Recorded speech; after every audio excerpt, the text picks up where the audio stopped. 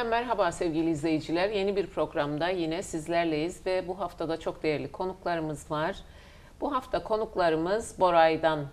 Ee, aslında e, ben Aykut Bey belki bana kızacak ama Boray Emlak demek istiyorum. Çünkü bu isimle tanınıyorsunuz.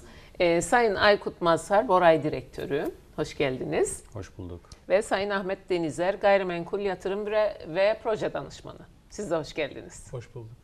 Ee, 20 yıllık bir şirketsiniz tabii. Ee, piyasada Bora Emlak diye biliniyorsunuz. Ee, ama biraz e, farklı bir yol çizdiniz kendinize. Gelişiyorsunuz. E, kurumsallaşıyorsunuz herhalde artık. Ee, sizi biraz tanıyalım. Şirketinizi e, tanıyalım. Nasıl başladınız? Nerelere geldiniz? Evet. İnşaat mühendisiyim. Ee, 1996 yılında kurduk şirketimizi. Bu yıl e, tüm çalışanlarımızla birlikte 20. yılımızı kutlayacağız. Tebrik ederiz. Ee, iki ayrı ofiste e, yaklaşık 20 çalışanımızla e, emlak ayağında e, hizmet veriyoruz. Bir de inşaat şirketimiz var. Bunun yanında e, Bora'yı kullanmak istememizin sebebi e, şirketlerimizin ve verdiği hizmetin çeşitlenmesidir. Evet. Yani emlakın yanında emlaktaki yatırım ayağının oluşturulması, emlak yatırım şirketimizin kurulmuş olması, e, inşaat şirketimiz üzerinden yapsat e, sektöründe hızlı bir şekilde faaliyet gösteriyor olmamız e, Bora'yı daha çok kullanmamıza Evet. e, itiyor bizi. Ee, tabii ama e, Bora Emlak dediğinizde bu e, piyasada bir güven oluşturuyor. Yani sizin bilinen adınız e, muhakkak tabii e, isimle değildir bu ama siz artık yir- 20 yıllık bir şirketsiniz ve e, bir güven telkin ederek geldiniz bugünlere. Çünkü özellikle bu piyasada e, emlak sektöründe, inşaat sektöründe sanıyorum güven çok önemli. Ne dersiniz? Yani kapalı toplum olmanın getirdiği sıkıntılarla alakalıdır aslında. İnsanımız e, bilgiye ve bu bilginin getireceği faydalara e, bilgiye ulaştıkça Evet. bunun değerini, faydasını anlıyor. İşte biz özellikle bu noktada e, insanlarımıza daha veya müşterilerimize daha farklı bir aşımla hizmet verme kapısını aralıyoruz veya aralamaya çalışıyoruz veya bunu geliştirmeye çalışıyoruz. Evet. Bu sebepten dolayı sohbet etmek, ihtiyaç analizi yapmak, e, danışmanlık vermek, onların kendi durumlarını daha net görmelerini sağlamakla alakalı bir takım e, daha geniş yelpaze çalışmalarımızı devam ettiriyoruz. Evet harika. Ee, Ahmet Bey de Sayın Ahmet Denizer e, gayrimenkul yatırım ve proje danışmanısınız. E, bu meslek aslında herhalde sektörde olanlar için e, bildik bir meslek. E, bizden de aslında e, ya, halk arasında da artık hani ev almak isteyen bizden çok yani yaşamak adına mı ev alınıyor? Bir mesleğinizi tanımlar mısınız bize? Kendinizi tanıtır mısınız? Ee, şöyle başlayayım.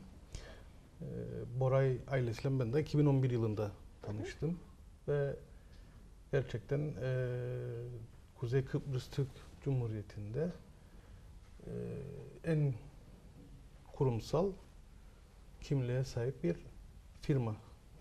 Onu o şekilde söyleyeyim. Evet bizi Boray Emlak olarak yıllarca Evet. o şekilde tanıdılar.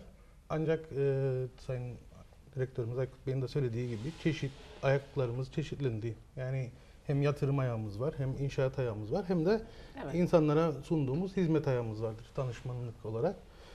Burada ben de danışman olarak hem ev almak kendi ikamesi için ev almak Evet. isteyen insanlara hem de yatırım amaçlı gerek sektörün içerisindeki e, müteahhitler olsun gerekse yurt dışından gelen yatırımcılara olsun bu yönde e, hizmet vererek onlara danışmanlık yaparak doğru ürünü doğru finansla sağlamaya çalışıyor.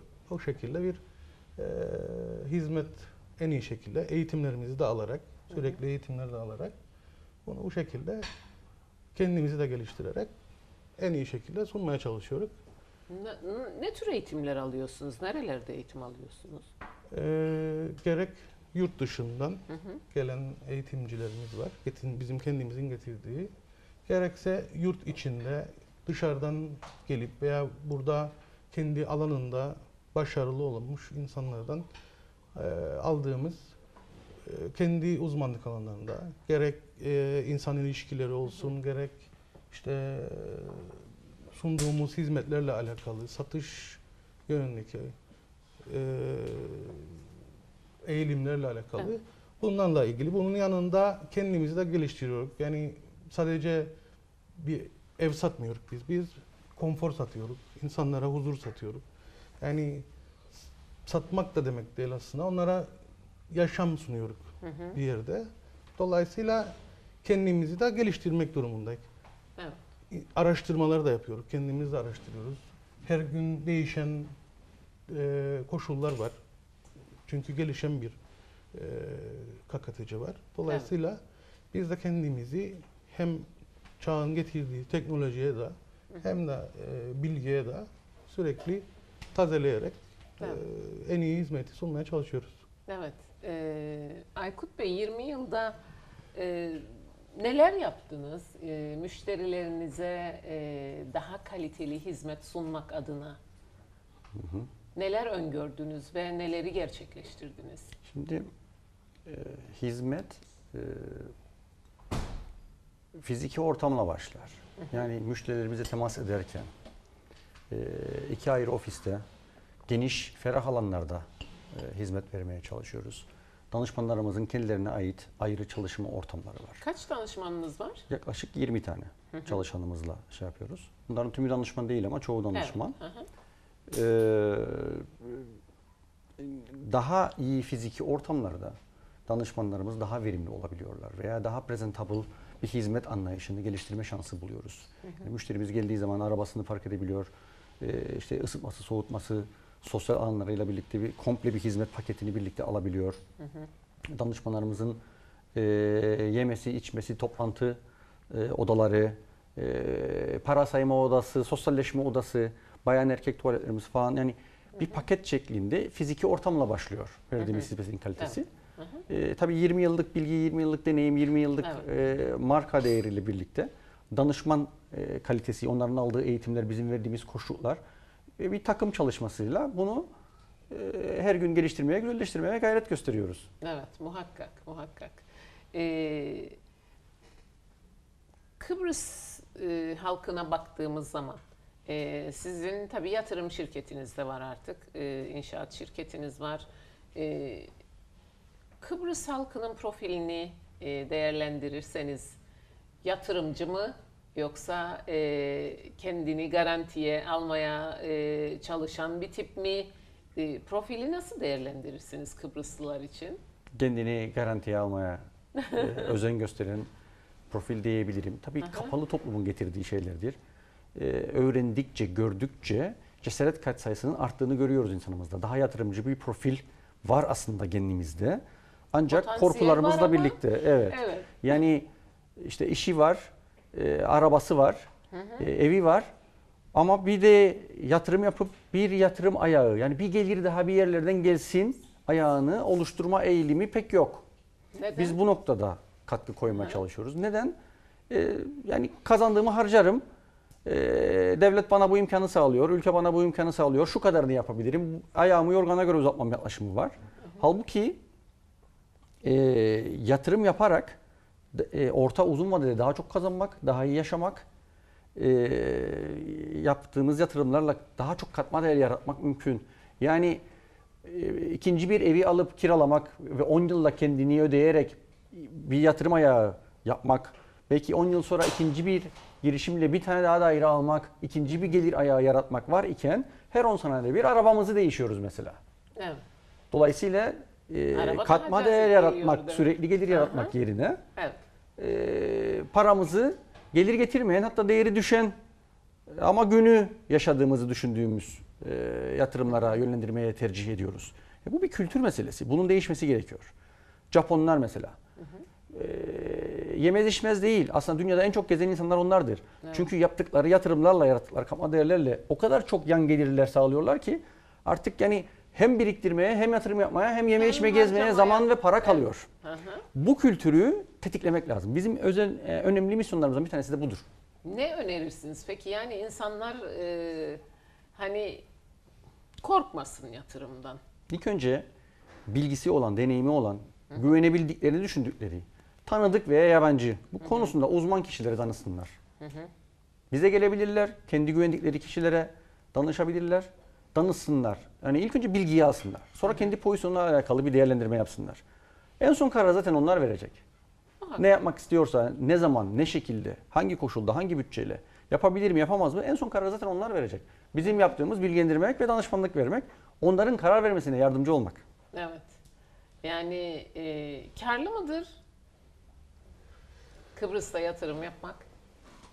Yani Ahmet Bey ne dersiniz Tabii- bir tabii ki. danışman olarak?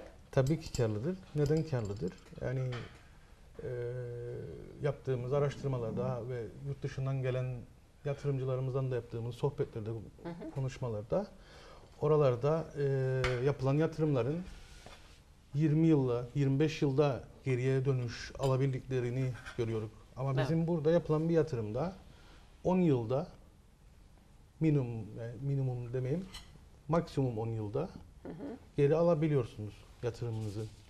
Ve bunu biz zaten e, gelen yatırımcılara veya yerli yatırımcımıza danışmanlık yaparken bunun bir raporunu da hazırlıyoruz. Yani on, önüne tabloyu koyuyoruz. İşte yapacağınız yatırım bu. Maliyetleri size bu. Geri dönüş süresi de bu şeklinde. Bunun içinde e, maliyetleri ortaya koyduğumuz zaman ortaya çıkıyor verimlilik ve kısa vadede geri döndüğü. Dolayısıyla insanlar da bundan yola çıkarak özellikle 2016 ve sonrasında ciddi anlamda yurt dışından da yatırımcı buraya gelmeye başladı. Neden? Sebep bu. Kıbrıs'ta kısa vadede kendini ödüyor. Yatırım kâra dönüşüyor. Dolayısıyla tekrar bir yatırım yapma şansını da size kazandırıyor. Böyle bir ortam var Kıbrıs'ta. Ayrıca e, gelişen bir ülke olduğumuz için de varlık kendini de katlayarak gidiyor. O yüzden iki kere kazanıyorsunuz aslında. Yani hem kendini ödüyor, hem değer kazanıyor, hem size başka yatırımlar yapma şansı da sunuyor günün sonunda. Evet, tabii bu işlerden anlamadığımız için böyle anlattığınız zaman siz çok güzel geliyor bana bir Kıbrıslı olarak. Yani Bu kadar de- değerli Biz bunu aslında. işte tablolarla müşterimize önüne koyuyoruz. Yani sözde kalmıyor bunlar ve insanlar bunları gördüğü zaman realite olarak yani bankaların sağladığı kredi şans ortamını da e, sunuyoruz. En iyi kredi veren bankalara sürekli bankalar bizi ziyaret ediyor. Biz onları ziyaret, ziyaret ediyoruz. Yani e, müşterilerimize en iyi sunabilmek için sürekli çalışıyoruz ve önlerine yazılı bir şeyler koyduğunuz zaman iş daha bir e, başka boyuta geçiyor. Evet, Söz, söz havada kalabilir ama kesinlikle. yazı ortadır. Dolayısıyla güven de artıyor böyle olduğu zaman. Çünkü e, elle tutulur, gözle görülür bir şeyler sunuyorsunuz. Evet. müşterinize. Peki e, bir dönem e, bankalarla e, bir sıkıntılı bir dönem yaşandı aslında. Bizde orijinal Türk malı veya orijinal tapusu Türklere ait olmayan arazilerde e, yapılan yatırımlarla ilgili kredi sıkıntıları vardı. Aşıldı mı bu? Bankaların e, bu piyasaya bakışı nasıl? Zaten Girne ve Mausa bölgesinde böyle bir sorun yok. Yani gerek halkımız gerek o bölgelerde yatırımcı e, yapan müşterilerimiz, vatandaşlarımız Girne ve Mausa'da bunu sorun etmiyorlar. E, bir tek Lefkoşa'da biraz sorun var bu konuda ama zaten Lefkoşa'nın dörtte üçü Türk malı olduğu için orada da çok küçük boyuttadır bu. E, yani 5-10 sene öncesinden itibaren TC bankaları da e, Türk malı olmayan ürünlere yönelik e, kredi paketlerini açıkladılar. Yani bu noktada yani 5-10 sene önce olan bir sorundu bu. Artık bir sorun olarak biz değerlendirmiyoruz. Pek önümüze Gelmedi. gelen bir e, şey değil, itiraz değil bu. Ee, peki Kuzey Kıbrıs'ı e, parçalara bölsek, e, siz bir yatırımcı olarak e, nasıl değer kazanıyor bu bölgeler? En hızlı e, değeri na- nasıl kazanabilir? Yani bunu nasıl değerlendirirsiniz? Müşterinize nasıl sunarsınız bunu? Yani üç, üç ayrı bölge şeklinde düşünebiliriz şu anda. Gerçi Güzel Yurt Lefke bölgesi altyapısı üniversitesiyle birlikte atılım yapıyor, gelişiyor. Ve Önemli potansiyeller vaat ediyor ama henüz meyve vermiş pozisyonda değil oradaki hani gayrimenkul alım satım emlak konusunda bakacak Evet. olursak. O bölge önümüzdeki dönemde pişmeye, gelişmeye aday. Ee, Girne, Lefkoşa, Mausa ve İskele bölgesi olarak değerlendirdiğimiz yani Mausa, İskele'yi bir bölge, Girne'yi bir Evet. bölge, Lefkoşa'yı bir bölge olarak değerlendirecek olursak e, bana göre adanın en güzel yeri Girne'dir. Ee, Mausa sahil boyu sahiliyle güzeldir ve ağırlıklı yabancı yatırımcıya yönelik şu anda. Ee, işte yabancılar gelip alıyorlar. Ee, kısa vadeli e, teknolojiden de yararlanarak kiralama olayıyla alakalı uzun vadede hem değeri artıyor hem kiralıyor şeklinde. Yani yerli yabancıya, yerli yatırımcıya değil de daha çok yabancıya yönelik Yabancıya. bir yatırım hamlesi var Mausa İskele bölgesinde. Girne'de hem yerliye hem yabancıya hem de daha çok otel yatırımları Evet. dolayısıyla Türkiye'den gelen yatırımcı ve turist profesyonelik daha zengin bir mozaik var e, Girne bölgesinde. Lefkoşa e, değeri hiç düşmeyen işte e, devlet dairelerinin e, en yoğun nüfusun Evet. işte köylerin e, şehre her gün gelip gittiği, e, hareketin olduğu, bürokrasinin merkezinin olduğu yer olması itibariyle de değeri hiç düşmeyen, hareketi hiç düşmeyen bir bölge. Daha farklı ayrıcalıkları şeyleri var. E, bana göre şu anda en ucuz Lefkoşa kalmış durumda. Çünkü 2016'da Girne bölgesindeki hareketle ve Mausa bölgesindeki işte sahillere yönelik ağırlıklı dış taleple gelen hareketle bir daha çok büyük bir sıçrama yaşadı Girne Mausa. Lefkoşa arkasından lokomotifin arkasından gelmeye devam ediyor. Devam ediyor. Evet. Evet. Ee, peki e, yapılaşmanın e, bu yatırım dengesini nasıl etkilediğini düşünüyorsunuz? Mesela Girne için siz en güzel bölge, işte en çok yatırım yapılan bölge Girne diyorsunuz ama Girne'nin yapılaşması çok eleştiriliyor. Evet. Ee, işte ka- kat planı veya her neyse master planı var mı mesela Girne'nin? Bu Yani, yatırım için evet. doğru bir plan mı? E, tabii bu iş çok uzun yıllar önce ele alınmalıydı. Yani işte yüksek kat kötüdür. E, na- hangi açıdan baktığınıza bağlı kötü olabilir. Alçak yapılaşma da kötü olabilir. Çünkü e, bütün araziyi beton yapıp yeşil alana yer bırakmıyorsunuz. Mesela baktığınız zaman İstanbul'daki büyük rezidans projelerinde evet dikine çıkıyorlar ama 50 tane, 100 tane, 200 tane Evet. otoparkı yeşil alana havuzlarıyla birlikte baktığınız zaman binayı hissetmiyorsunuz. Ağırlıklı yeşil alan hissediyorsunuz. Neden? Doğru bir şekilde planlandığı için. Mesela Girne bölgesinde e, sahile paralel değil, sahile dik yapılaşmalar olmalıydı. Sahile yakın veya daha yakın değil, orta bölgelerde daha yüksek edilmeliydi. Böyle bir iki küçük şeye dikkat etmek suretiyle ve büyük arazilere ayrıcalıklı izin ver- vermek suretiyle. Yani bir arsaya 10 kat değil de bir arsaya 3 kat verirdiniz. İki dönüme 5 kat verirdiniz ama 5 dönüm bir arazi varsa ona 10 kat 15 kat verebilirdiniz sahile ve daha yakın olmaması koşuluyla. Ve yeşil alanını, otoparkını, havuzlarını e, dokuyu bozmaması koşuluyla ve sahile paralel değil dik Dik olarak. yapılaşması şeklinde planlamalar yapılabilirdi. Bütün bunlar fiziki planlamayla alakalı. Yani Kesinlikle. 1963-74 arasında e, kapalı toplum olarak yaşamış olmamız ve hiçbir imar mevzuatını ele almamış olmamız, 74'ten sonra da bu konular sanki hiç yaşanmamış gibi bunlara el atmamaya devam etmemiz tabii ki üzücü bir durum. Yani fiziki plan olarak bütün adanın sanayisi, turizmi, yapılaşması, e, konutu, okulu, kamusu uzmanları tarafından ele alınmalıydı. Özellikle yurt dışından destek alınarak Avrupa'daki veya gelişmiş ülkelerdeki örnekleri göz önüne alınarak e, yapılmalıydı. Yapılmadı. Şu an e, geçici tedbirlerle, el milemelerle bu iş götürülmeye çalışıyorlar. Hala daha çok eksik. E, imar planı e, hazırlanıyor ama içini doldurabilmek sanırım çok uzun yıllar alacak. Evet. Halen işimiz çok bu konuda. İşimiz çok ve e, tabii sıkıntı yaratır, diye Yaratır tabii. düşünüyorum ben en azından gelecek açısından. Hem spekülasyon yaratıyor Evet. hem de daha sağlıklı gelişmenin e, önünü açmıyor. Evet. Maalesef. Sıkıntılı gelişme yaşıyoruz. Evet. E, tatlılarımız geldi. Eziç'teyiz bu arada. Lütfen buyurun. E, Afiyet olsun. afiyet olsun.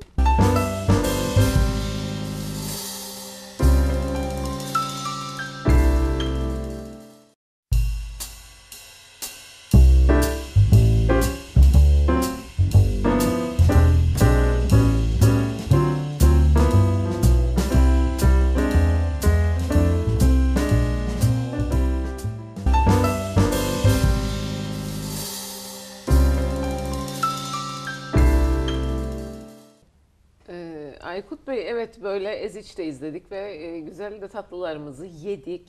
E, ben şeyi sormak istiyorum. E, ülkede tabii ki e, yatırıma çok uygun bir ülke, çok güneşi, çok güzel, e, yaşanabilir. E, bunun dışında e, neler etken oluyor e, müşterilerinize Kıbrıs'ı pazarlarken, yurt dışından gelen müşterilerinize? E, şunu söyleyebilirim. Kuzey Kıbrıs'ta gayrimenkulden daha ucuz hiçbir şey yok. Hatta tek ucuz şey de diyebiliriz aslında gayrimenkule. Neden? kadar. Neden? Toprak büyük, nüfus az. E, çözümsüzlük itibariyle işte yatırım gelmemiş, geri kalmış. Bu sebepten dolayı gayrimenkul e, ucuz kaldı veya tek ucuz şey kalmış. Çünkü her şey yurt dışına gelirken gayrimenkul yurt dışına getirmiyorsunuz. Kendi Evet. doğal kaynağınız olarak bunu kullanıyorsunuz. Bunun sebebi budur diyebilirim. Az nüfus, çözümsüzlük, Kıbrıs'taki çözümsüzlük. Dolayısıyla e, ve o nüfusa o, bu toprak parçasının ol- olması gerektiğinden bayağı daha büyük. yani Büyük İstanbul olması. kadar bir yerde Evet. sadece 300 bin e, bir nüfusla e, şey oluyor. O açıdan e, uygun. Tabii son dönemlerde turizm ve işte hızlı bir yatak kapasitesinin artırılması yönünde stratejik bir takım planlamalar yapılıyor Evet. Türkiye ile birlikte. İşte elektriğidir, suyudur, turizm yatırımıdır falan. Birlikte oluyor işte Yeni Evcan havaalanı falan Evet. yapılıyor. Altyapısı tamamlanıyor Kuzey Kıbrıs'ın. E, bunun yanında e, işte kumarhane turizmiyle turizm e, Türkiye dışına şey yapılmış büyük bir pazar buraya e, yönlendirilmiş. E, eğitim yani 3 tane 4 tane üniversiteyle başlarken şu an 15-20 tane üniversitenin lisans aldığını duyuyoruz. Muhtemelen doğrudur aldığımız bilgi. Yani şu an 90 bin öğrenci var. 5 sene içerisinde e, 150-160 binlere e, gitmesini öngören raporlar var. E, bu da hızlı bir nüfus artışıdır ve daha farklı bir sektörü tetikliyor. Evet zaten turizmle birlikte Evet. en büyük sektör eğitim sektörü. Evet. Dolayısıyla iki ana sektör, turizm ve eğitimin yanında bu yapsat kiralamaya yönelik üçüncü bir mega sektörün geldiğini söyleyebilirim. Yani zaten bununla alakalı Müteahhitler Birliği'nin ve e, bakanlıkların, ilgili bakanlıkların çalışmaları var. Yani Evet. eğitim ve turizmin yanına üçüncü mega sektörü yapsat kirala ile alakalı bu emlak e, sektörünü nasıl bir stratejik planlamayla entegre edebiliriz çalışmalar şu an devam ediyor. Evet. Yani yükselen değer olarak şu an bizim e, Boray olarak içinde bulunduğumuz e, sektörün e, önünün açık olduğunu söyleyebilirim. Ha, harika. Ee, peki siz e, siz de geliştirdiniz kendinizi. Ee, birkaç başlık altında topladınız zaten. Ee, siz bu sürdürülebilir başarınızı e, buna paralel mi geliştirdiniz? Nedir sırrınız? Yani 20 yıldır e, tatlı tatlı büyüyen bir operasyonumuz var. E, En önemli şey insan kaynağındaki niteliğimiz, kalitemizdir. Bu da yine bizim e, tercihimizle alakalı. Biz az insanla yavaş büyüyerek nitelikli insan kaynağını eğiterek e, büyümeyi tercih eden bir grubuz. Olabildiğince en üst düzeyde bir takım çalışması ve huzur katsayısıyla az çalışanımızın değiştiği, çok az fire verdiğimiz Evet. ve e, belli kişilik özellikleri ve potansiyeli olan danışmanları bir takım e, teknik ve stratejik yaklaşımlarla bünyemize katıyoruz. Sınavlar, mülakatlar, e, yurt dışından danışmanlık aldığımız bir konu bu. Yani aramıza nitelikli insanları belli bir filtreden, süzgeçten geçirerek alıyoruz. Bu olabildiğince üst düzeydeki nitelikli Evet. insan kaynağımıza yurt içi, yurt dışı eğitimlerle e, yönetim olarak destek veriyoruz. Evet. Sadece e, insan niteliği ve e, eğitimler değil, yönetim olarak tüm danışmanlara koşuluk da veriyoruz. Yani 20 yıllık deneyimi bilgini, bilgiyi paylaşmanın yanında bu deneyiminin bilginin getirdiği e, enerjiyi, potansiyeli, network'ü ve fikirleri de paylaşıyoruz birlikte. Yani bu noktada bizi rakiplerimizden biraz farklı kılan bir noktadır bu. Yani baktığınız zaman bütün dünyada işte kurucu direktör danışmandır emlak sektöründe ve danışmanlarla birlikte takım şey içerisinde onlarla tatlı rekabet eder. Aslında bu rekabet danışmanların gelirini düşürmekle birlikte onların daha kolay şirketten kopmalarına veya başka amacılar aramalarına sebep olurken biz bunu yapmıyoruz. Biz danışmanımızın gelirini daha çok artıracak, onları bünyemizde daha aidiyet duygusunu yükselterek tutacak bir strateji belirliyoruz. E, sadece ben değil, Enteresan. müdürlerimiz, e, yönetici sekreterlerimiz ve diğer e, danışmanlara destek veren kadromuzla birlikte bunu bir ahenk ve uyum içerisinde e, ve sürekli Evet. bir şekilde yapıyoruz. Onlarla rekabet etmeden onlara sürekli destek vererek yapıyoruz. Bu çok önemli. Dolayısıyla danışman e, sadece iyi olduğu konuda, satış konusunda ve danışmanlık konusunda, e, müşteriyle temas konusunda, onlara hizmet verme konusunda odaklandığı için odaklanmanın getirdiği yüksek verimlilikle daha sürdürülebilir bir operasyon yapmış oluyoruz. Bu çok önemli. Enteresan bir sektör. Evet. Ve enteresan bir e, çalışma yöntemi de aynı zamanda. E, Ahmet Bey, siz mesela sizin 20 tane çalışanınız var dediniz. Sizin uzmanlığınız ne e, alanında? Çünkü e, yani bilemiyorum hani e, ayrı mıdır acaba? Daire satan danışman veya e, müstakil ev satan, arsa satan, bina satan, kiralayan bu nasıl çalışır yani sizin sektörünüz? Şöyle söyleyeyim. Yani e, aslında Boray aile Boray bir aile gibi. Yani Aykut Bey de söylediği e, kaliteli bir e, yapımız var. insan kalitemiz var. Ve e, aldığımız eğitimler çok önemli. Kendimizi geliştiriyoruz ve bizim aslında e, aidiyetimiz orada da başlıyor. Çünkü eğitime de önem veren bir yapısı var Boray'ın. Dolayısıyla e, biz bir eğitim almak istediğimizde bize maddi destek de sağlıyorlar. Dolayısıyla eğitim almaktan korkmuyoruz, kaçmıyoruz.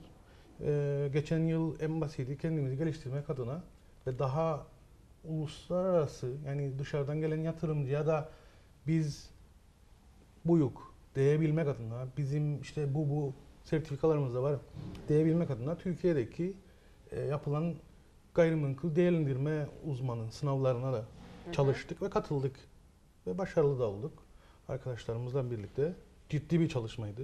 Evet. Yani yaklaşık 3000 sayfalık bir e, değişik dört konuda e, çalışmalar yaptık ve e, günün sonunda Türkiye'de katıldık sınavlara ve orada da başarılı olduk.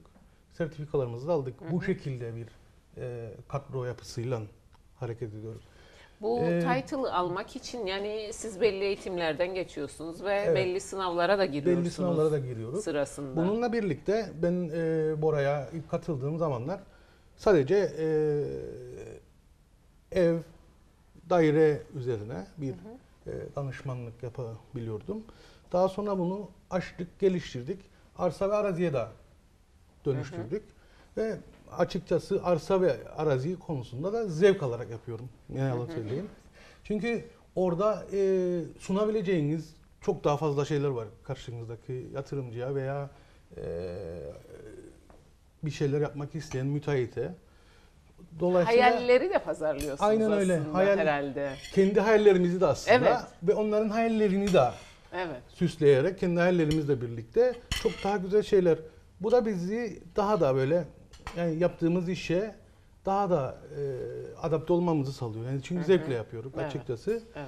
Araştırıyoruz, karıştırıyoruz ve en iyi şekilde e, sırası geliyor müteahhitlere benim title'ımda proje danışmanlığı da var. Proje danışmanlığı da yapıyorum. Çünkü benim hep söylediğim bir şey vardır.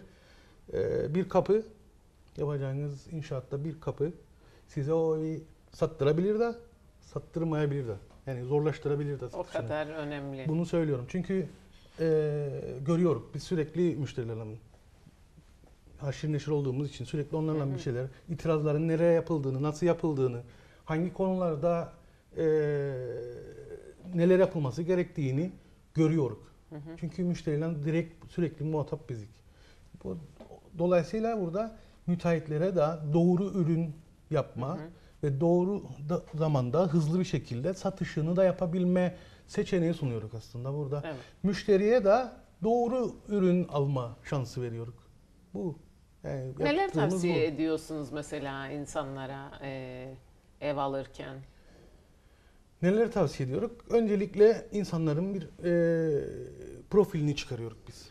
Yani bu nedir? İşiyle alakalı, çocuk ailesiyle alakalı, e, çocuklarının okulu, kendi iş yeri ve ihtiyaçlarıyla alakalı bir analiz yapıyoruz. Onun yanında bütçe analizlerini de yapıyoruz. Yani nedir bütçeniz? Çünkü insanlar evde bir hesap yapıyorlar. Bilirsiniz bizde evdeki hesap çarşıya uymaz derler.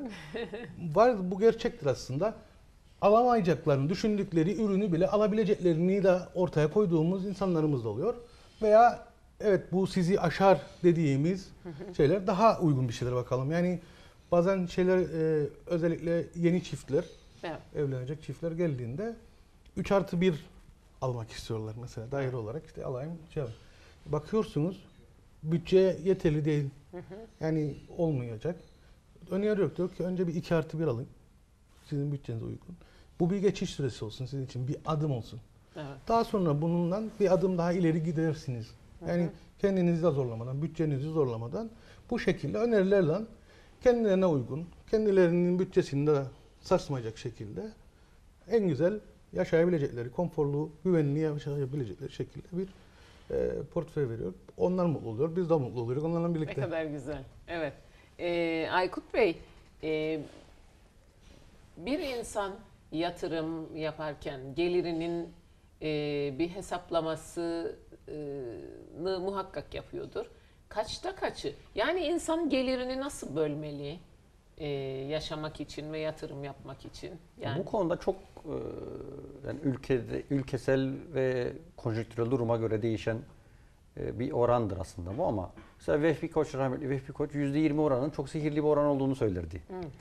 Yani ben de e, kendi deneyimlerimden %15 ile 25 oranında bir tasarruf oranının çok makul bir oran olduğunu değerlendiriyorum. Yani sahip olduklarınızın %15 ile 25'inin nakitte olması gerektiğini ve yatırıma dönüşmesi gerektiğini e, değerlendiriyorum. Yani ne kazanırsanız kazanınız az veya çok. Yani Evet. bunun yüzde oransal olarak. e, 80'ini harcamak, %20'sini biriktirmek mesela e, doğru ve sihirli bir orandır diyebilirim.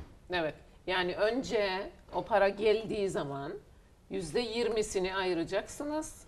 Geri kalanını harcayacaksınız Evet. herhalde. Değil mi? %20'si e, belli bir zaman içerisinde bir birikime dönüşecek. O birikimle daha çok katma değer yatar, e, yapan bu bir şirket ortaklığı olabilir, bir gayrimenkul yatırımı olabilir. Bu bir al kiralama şeklinde daha basit, sürdürülebilir bir küçük adım şeklinde de olabilir. E, çeşitlenmek suretiyle hem gelirinizi hem yatırımlarınızı çünkü hem bir gelir yaratmıyorsunuz, yaptığınız yatırımın değeri arttığı için de bankadaki faiz oranının çok ötesinde e, bir değer artışıyla birikimleriniz katlanıyor. Yani sizin 10 yılda biriktirdiğiniz aslında 20 yıl birikmiş gibi önünüze geliyor. Sonra o 20 yıl e, 10 sene içerisinde 30 yıllık değil 40 yıllık 50 yıllık bir birikim gibi önünüze geliyor. Ve bakıyorsunuz uzun yıllar içerisinde çok daha e, sürdürülebilir bir yaşam düzeniniz oluşmuş oluyor. Bu, Evet. bu batıda çok yaygın bir olay.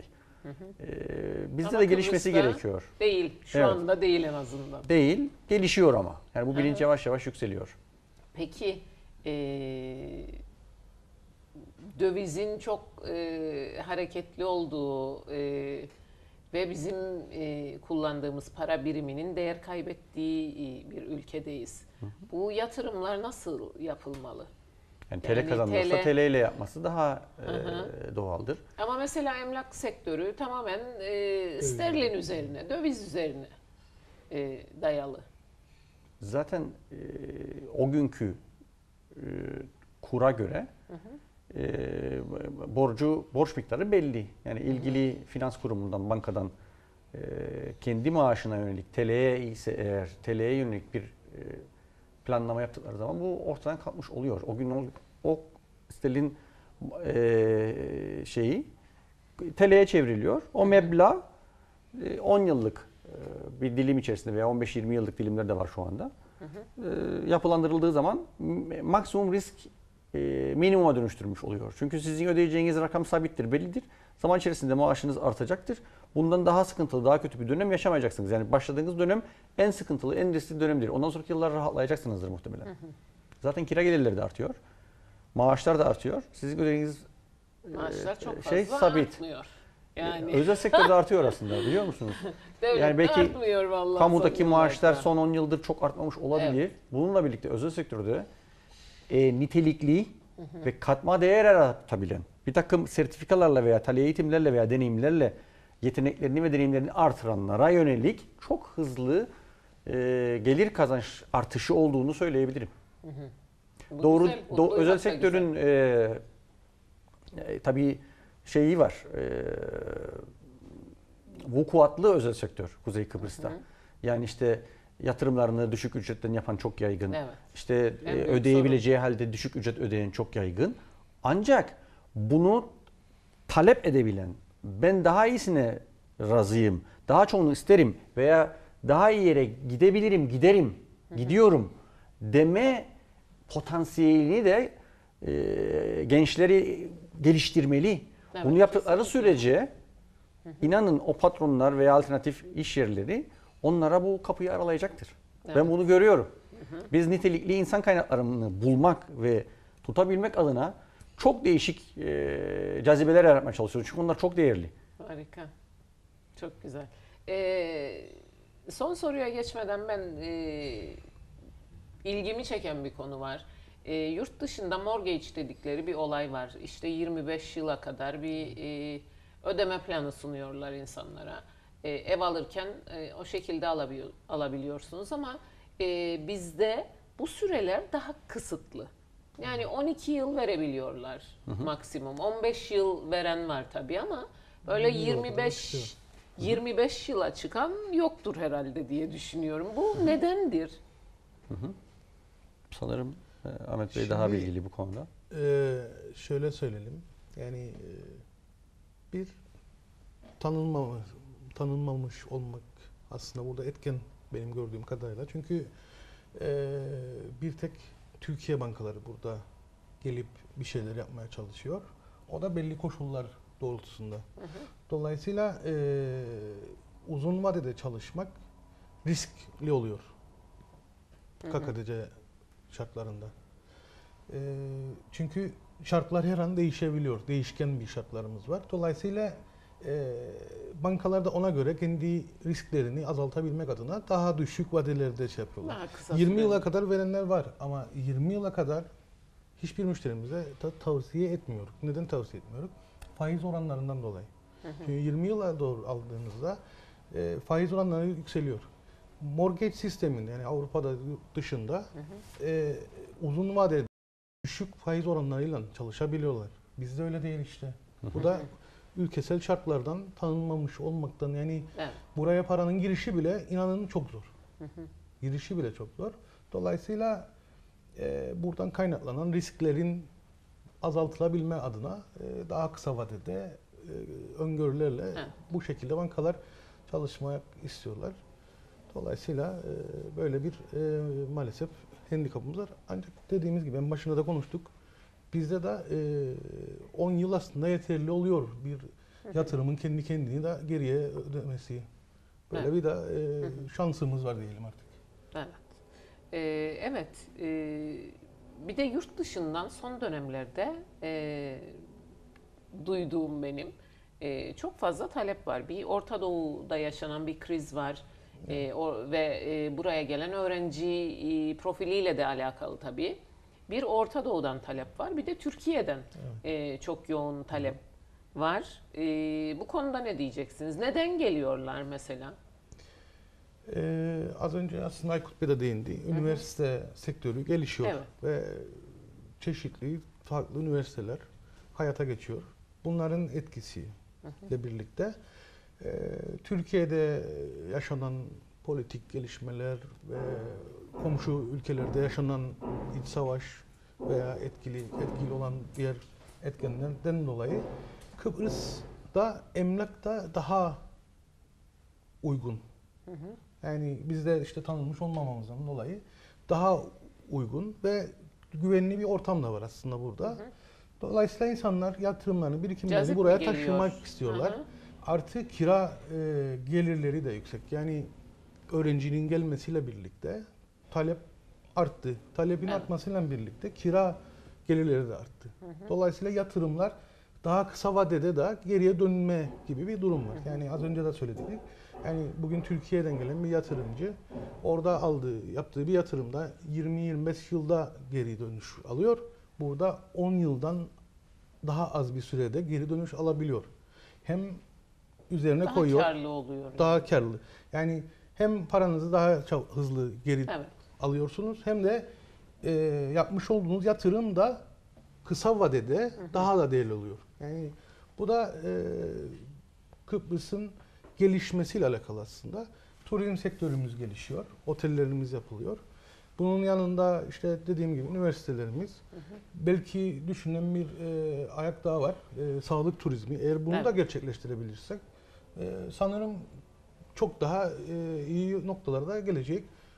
O yüzden yatırım yapmak isteyenlere de e, ellerini çabuk tutmalarını tavsiye ederim açıkçası. Harika. Ee, Evet Aykut Bey, e, yavaş yavaş programın sonuna geliyoruz. Hedefleriniz e, nelerdir bu yıl için? Daha yılın başındayız aslında. 2017 için e, veya daha sonrası için projeleriniz, hedefleriniz. İk- iyi bir 2016 yılı geçirdik.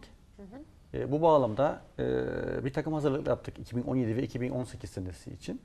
2017'de 6 tane projemizi hayata geçiriyoruz. Boray Developments yani inşaattaki yapsat ayağımız e, olarak. E, iki tanesi şu an hayata geçmiş durumda Girne'de, Zeytinlik'te ve Alsancak'ta. Bir tane Balavayıs'ta bir projemiz var. E, onun dışında Gönyeli'de iki apartman, Ortaköy'de bir büyük bir ofis bloğu e, ve Küçükkaya'da iki tane apartman e, projemiz olacak. Bunları e, iki tanesini başladık, dört tanesini 2017 senesi içerisinde e, birkaç ay arayla e, hayata geçireceğiz. Ne kadar güzel. Ve Ee, insan kaynaklarımızla alakalı da 2017 Hı hı. hedeflerimiz var. E, nitelikli insan kaynağımızı e, yavaş ama nitelikten ödün vermeden evet, e, sürdürülebilir bir stratejik e, çerçeve içerisinde e, büyüyeceğiz, geliştireceğiz, çoğaltacağız. Mevcut olanı da verimini artırmaya yönelik bir takım çalışmalarımız var. Kendi bünyemizde e, Boray Akademi e, dediğimiz bir yapılanmayı hayata geçirmeyi düşünüyoruz. Hani daha çok eğitim, daha çok motivasyon, daha çok koçluk, daha çok odaklanma, her şeyden daha çok şeklinde bir e, hedefimiz var. Çok güzel. Başarılar diliyorum. Teşekkür ederim. Evet, e, Ahmet Bey sizin de son sözlerinizi alalım. E, madem Kıbrıs'ta yatırım bu kadar değerli e, ve karlı, e, neler tavsiye edersiniz? Ee, öncelikle alanında uzman insanlarla e, çalışmaktan çekinmesin kimse. Gelsinler bize danışsınlar. Hı hı. Onlarla birlikte e, yapabilecekleri yatırımları gözden geçirelim, geçirelim ve onlara en uygun yatırımları e, sunalım. Dolayısıyla e, yatırım zamanı diyorum ben. E, bu fırsat her zaman gelmez. Çünkü her geçen gün yukarı doğru gidiyor fiyatlar her şey. Dolayısıyla e, birikimi olan, ödeme gücü olan insanlarımızın yatırım yapmaktan korkmaması gerektiğine inanıyorum. Gerek e, içeride gerekse yurt dışından da gelen yatırımcılara tavsiyemiz e, bizim gibi uzman insanların e, görüşleri ışığında yatırımlarını yapmaya çağırıyoruz. Kıbrıs şu anda doğru bir yatırım yeri. E, kimse e, yatır yapacağı yatırımın e, geriye dönmeyeceğini veya kazandırmayacağını gibi bir e, düşünceye kapılmasın. Burada gerçekten ciddi anlamda bir potansiyel var. E, bu düşünceye sahip olan, özgüvenini sağlayan ve yatırım yapmak isteyen herkesi bir kahve içmeye bekliyoruz. Evet, harika. Çok teşekkür ediyorum ben her ikinize de ve başarılar diliyorum. Teşekkürler Teşekkür ederiz. Çok sağ olun. Evet sevgili izleyiciler bir programın daha sonuna geldik. Önümüzdeki hafta tekrar görüşünceye dek hoşçakalın.